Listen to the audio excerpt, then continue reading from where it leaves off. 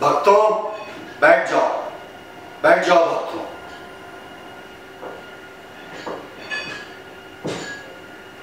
बैठ जाओ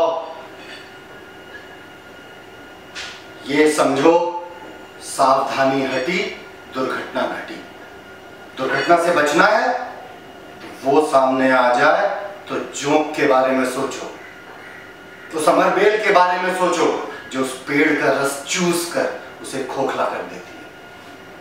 जहाँ बत्तीस, छब्बीस, चौतीस के फेर में पड़े, समझो लुटिया डूबी।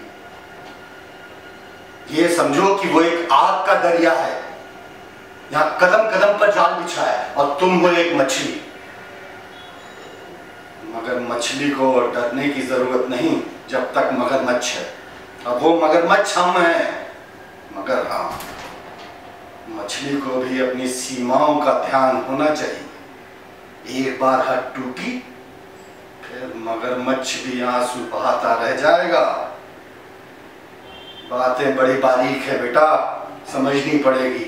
फकैती नहीं है।